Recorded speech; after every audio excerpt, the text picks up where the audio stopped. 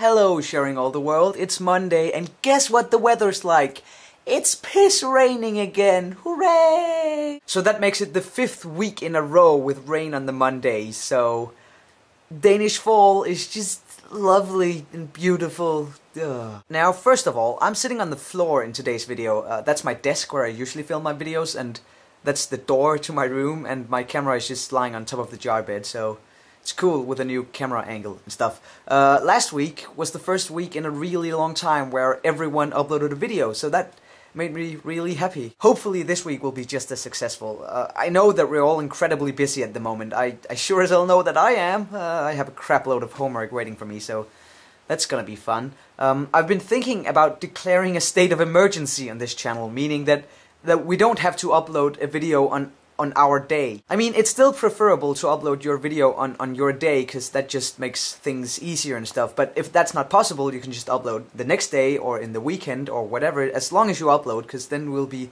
happy and satisfied, and we'll be like a family, an old good old collab channel again. I don't know what's going on with all my hand gestures in today's video, sorry about that. It is a bit cold, so I'm gonna get a shirt, a warmer shirt. Ah, that's a bit better. Uh, so Kez, you're getting a tattoo, which is, that's so cool, I wish I had the balls to do something like that.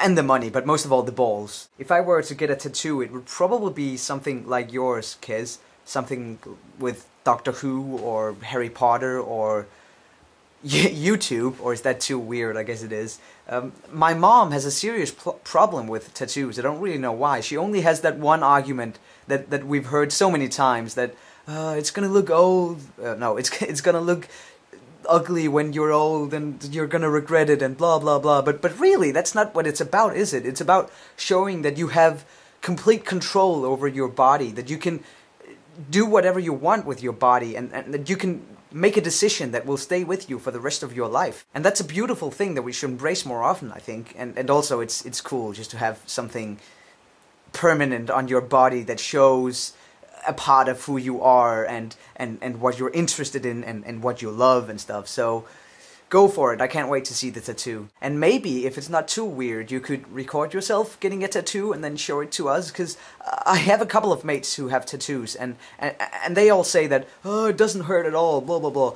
But I don't know if they're just saying that to, to they don't want to look like wimps, you know? They want to look like badasses who can take getting a needle inside their arm. And I don't know how tattoo how a tattoo works, but um, anyways, I, I I think it could be cool to see your tattoo getting made and stuff. But I understand if that's too much because getting a tattoo is a quite personal thing, I guess. Michelle, you made a really great video last week dedicated to your cat. Uh, I, I, loved your video, I thought it was amazing. And uh, you also asked if we have any pets, which I do. I have uh, a dog called Pelle, but I call him Gandalf because uh, he's white and stuff. Uh, some of you might have met him on, on in one of my videos on my main channel, but um, he's not here because uh, Gandalf lives at my dad and I live at my mom's. So, but I've had a lot of cats throughout my life because my mom's a cat person, I guess.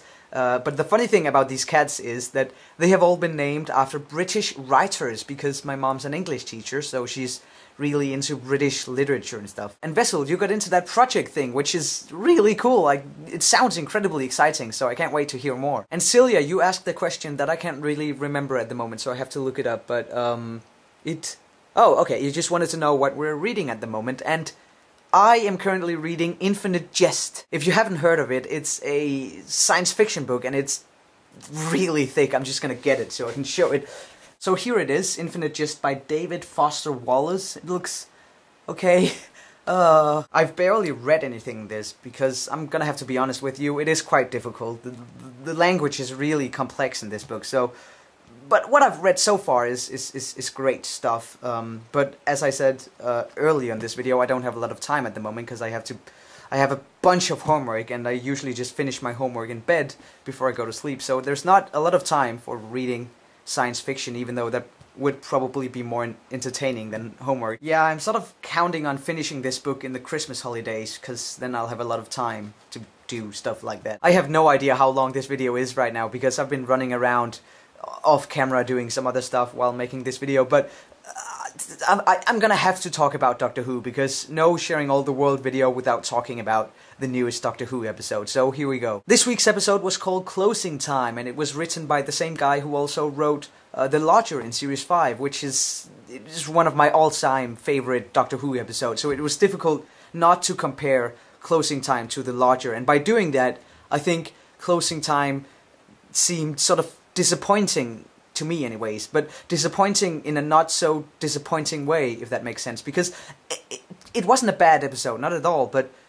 when it's difficult to explain, but when comparing it to the Lodger, it just wasn't as good. But it did sort of have a Russell T Davies feel to it, which I really liked. It gave me a sort of a feeling of nostalgia, if that makes any sense. I don't know. Can any of you even relate to that at all? Also, the silence is back. Of course they're back. Who didn't see that coming? I mean, oh, but still, I love those guys. I think they're really well made and creepy and oh.